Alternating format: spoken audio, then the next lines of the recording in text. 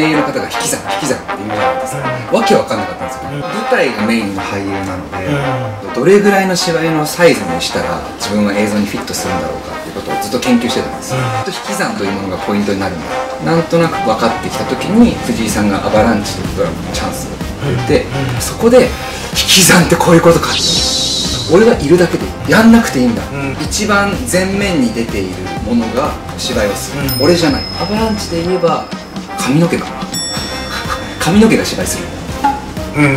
髪型すごいこだわったんですけど週刊記者なんで家に帰らないこともある。すぐに大事な人とのアポが。だからちょっとあのパーマかけてた方がすぐに寝癖も治るインフォーマーで言えば藤井さんからある漫画のキャラクターが送られてきて で行かれた田島を見たいって言ってくれたんですよ、メガネが芝居をするの。俺じゃないすごいですねその考え方。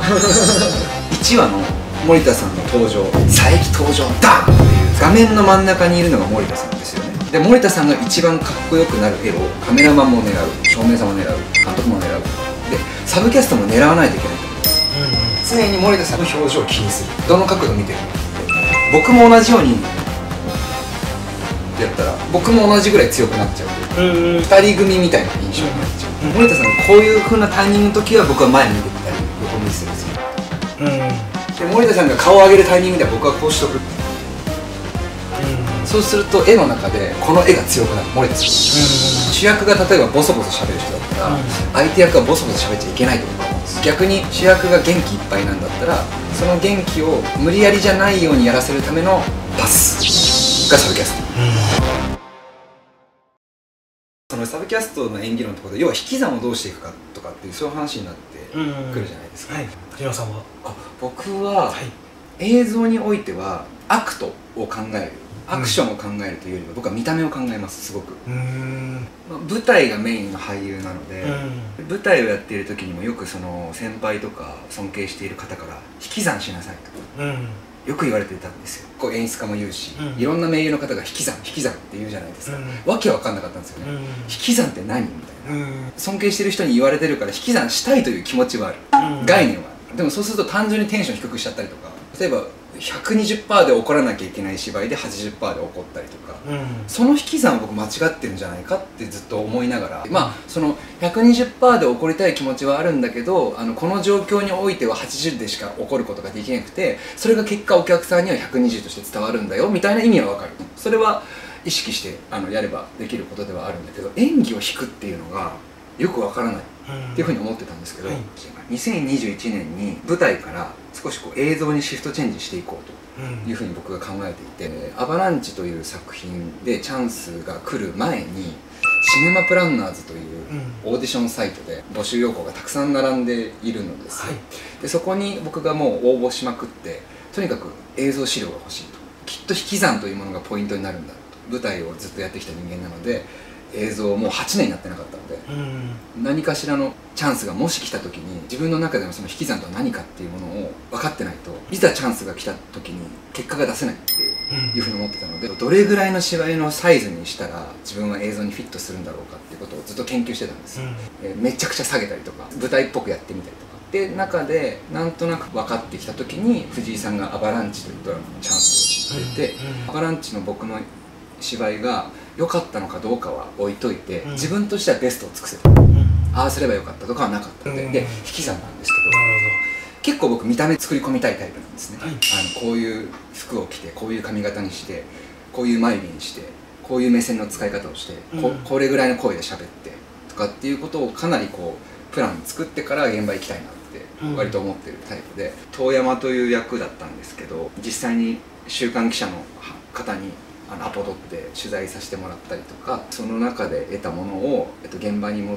て行った時にやっぱ8年ぶりの映像だったので、うん。もう殺傷美術衣装メイク一流の方々が揃ってて、うん。あ俺の仕事そんなにないなって思ったんです。俺があんまやる必要ない。うん。僕にぴったりの衣装をスタイリストさんが着させてくれてうん。僕の顔を一番よく見せるメイクをメイクさんがしてくれてカメラマンさんが僕がよく映る角度から撮ってくれてでよく映る光を照明さんが当ててくれてうん。そしたら僕は足す必要ないんですよ。だって皆さん本を読んで遠山と役は僕という人物を通してこういうふうに見せたいっていうものを一流の人たちがやってくれてるから、うん。俺はいるだけでいいって。だからそこで引き算ってこういうことかって思ったんはい。うん。やんなくていいんだ。うん。周りが作ってくれるから俺は軸だけ真ん中だけ持ってそこにいればうん。そう見せてくれる余計なことしない方がいい。うん。うんでその初日の現場であパッと入った時にあこれ引き算ってこういうことだって。うん。でそして藤井さんもいるし。うん。藤井さんの他の素晴らしい監督たちもいたし。うん。あ自分から俺こういうふうにしたいからこうやってやりたいんですはあんまりやらなくていいや。うん喋り方も何もかも含めて。俺のこの一番なんだろう重心を下げた状態のことをやればそういうふうに見せてくれる。と思ったので。何の話でしたっけ？あれ何の話でしたっけ？作り込んでいくんですかみたいな。そんな話。あそうです。ね 一番前面に出ているものが芝居をする。うん。俺じゃない。アバランチで言えば髪の毛かな。髪の毛が芝居するんだって。うん。真ん中でここで気持ちはちゃんと作ってでもここでやらない。顔でやらないというかこここれがか 芝居するみたいな。へ髪型すごいこだわったんですけど、はい。ちちょっとチリチリにして、うん。週刊記者なんで家に帰らないこともある。ですぐにあのなんだ大事な人とのアポがあるだからちょっとてんあのパーマかけてた方がすぐに寝癖を直せる、みたいなことでチリチリを作ったんですけどそのチリチリが芝居をするから俺はしないっていうそういう考え方なるほどだからインフォーマーで言えば藤井さんからこんな感じにしたいっていうある漫画のキャラクターが送られてきて、で行かれた田島を見たいって言ってくれたんですよ、うん。あじゃあ結構今回はなんだろうな。今まで僕の中でやったことのない狂気的なでも冷冷酷な部分みたいなものをやっていいんだなって思って、うん。でその送られてきた漫画のキャラクターが眼鏡をかけていてああいう感じの髪型で、う。ん。ああなるほどねっていう。でまずものすごく痩せました。あそうですよね。はい。現場でもなんかはい。全然食べてなかった印 そう象そうそうそう。一ノ瀬君っていうああいうもうすごく分かりやすい肉体派の俳優がいて、うん。ど真ん中に超カリスマの森田さんがいてじゃあ僕はどういうバランスの見た目を作ろうかなっていう時にまず痩せよううん。とで眼鏡と髪型がある。ってなった時に眼鏡が芝居をするんだ、うん。俺じゃない。すごいですねその考え方。初めてお会いしましたそんな。貫通行動とか目的とかゼロページとかサブテキストとかそういうものをしっかり作り込んで全部抜いて眼鏡に任せるっていう、うん。そういうプランを家で考えていて、うん。であとは現場に行って森田さんと一ノ瀬君と藤井さんとお話をしてあの作っていったっていう、うん。そういう感じでした、うん。はい、1話の森田さんの登場佐伯登場ダーンっていうその空港の時のうん。あの3人で歩くっていううん。シーン、あそこから僕は結構サブキャスト演技論みたいなことをすごく重視していて、うん。要は画面の真ん中にいるのが森田さんですよね。もちろん。で森田さんが一番かっこよくなる絵をカメラマンも狙う照明さんも狙う監督も狙うでサブキャストも狙わないといけないと思うんです。うんただ単純に岡林という役はこういう人物でとかっていうふうに集中するんじゃなくて常に僕がここにいて常に森田さんの表情を気にする。うんどの角度見てるのかっていう。で森田さんが例えばこうまっすぐ見てもらっていい？時にあそうこれこれだと僕の演技が見れない。あそう。じゃあ僕後で構成します。森田さんが例えばこう下から上にっていう芝居をするときにはい。後でこれをはめてこれが森田さんだとして僕も同じようにってやったら僕も同じぐらい強くなっちゃうといううん二人組みたいな印象になっちゃう、だから森田さんが例えば